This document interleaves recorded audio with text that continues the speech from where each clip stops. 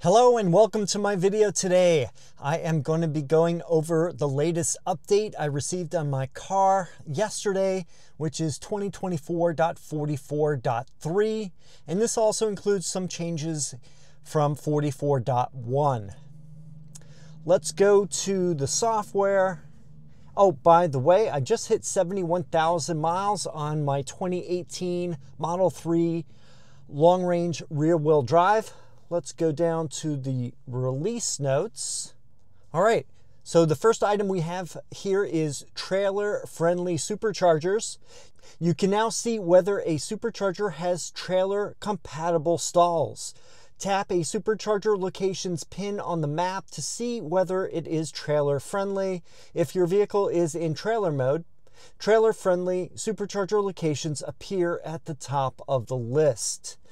Well, that doesn't really apply to my car because I don't have a tow setup, but let me go into the navigation and get an example of this.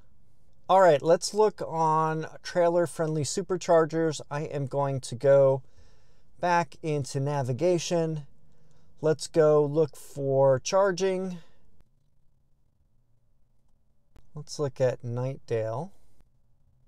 Nope, don't see anything listing that.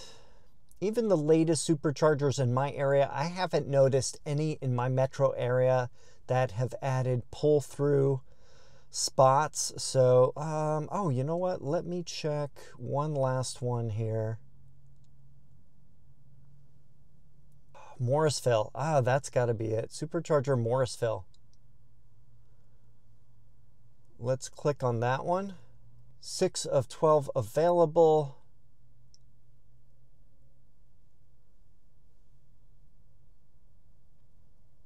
I'm not sure why they don't list it, but there are pull through spots at this. I thought there were pull through at this one, but maybe not. Yeah, the latest one that is at our airport does have V4 superchargers, but I don't see, no, they don't have pull through. So, yeah, um, can't give you an example of any that are trailer friendly superchargers in my area. That's the closest one that I know of. But otherwise, yeah, I'll have to look around and see if I can find any others.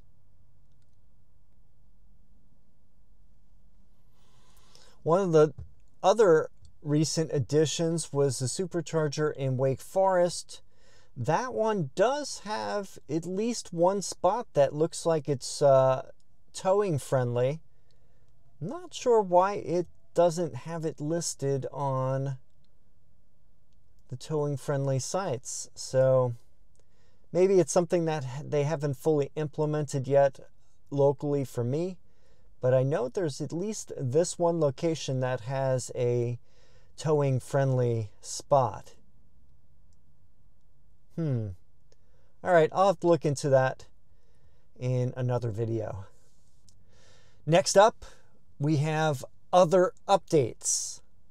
When you plug in a DC fast charging cable and the battery is too cold for fast charging, an estimated remaining battery heating time is displayed, indicating when charging can start. Improved battery energy estimation for better accuracy while driving. The Battle of Polytopia has a reworked Aquarion arrives. Mermaids rule land and sea, chill with sharks and jellies, and uncover lost ocean cities. Important security enhancements and improvements. Minor fixes and performance enhancements have been applied. Well, that's it for the official things that I have on this update. So, not a huge amount of changes.